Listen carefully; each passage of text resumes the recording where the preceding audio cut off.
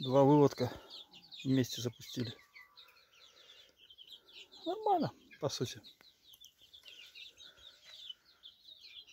Парничок, тут теплее, чем на улице. Поэтому ну, вот водичку мы поставили, зерно поставили. Ну, они тут зелень. Они тут